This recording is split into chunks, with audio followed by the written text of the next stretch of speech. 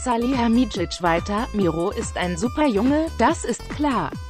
Er ist ein Weltstar und hat alles erlebt.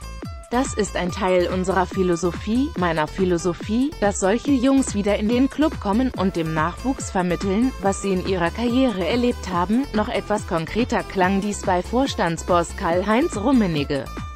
Er erklärte nach dem 6:2 Erfolg bei der Werkself, ich finde die Idee sehr gut. Schon bei der Asientour im letzten Sommer war klar, dass er als Trainer gern einmal beim FC Bayern aufschlagen möchte. Ich begrüße das sehr, denn wir holen gern erfolgreiche Spieler zurück. Dafür soll der 39-Jährige nach der Weltmeisterschaft 2018 in Russland seine derzeitige Tätigkeit als Stürmercoach im Trainerteam von Bundestrainer Joachim Löw beenden. Sein Vertrag beim DFB endet am 31. Juli wodurch der Weg für ein Engagement beim FC Bayern München frei wäre.